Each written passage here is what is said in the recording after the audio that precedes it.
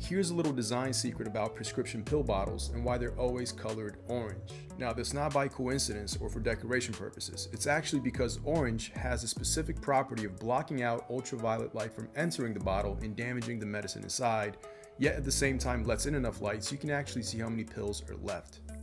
The same principle is used by many beer companies as well because dark colors like brown, green, and blue have the same UV blocking property which prevents sun from entering the beer, breaking down the acids in the hops which interacts with sulfur and produces a chemical that's actually very similar to skunk spray. Needless to say, it makes beer taste horrible. Follow for more design secrets.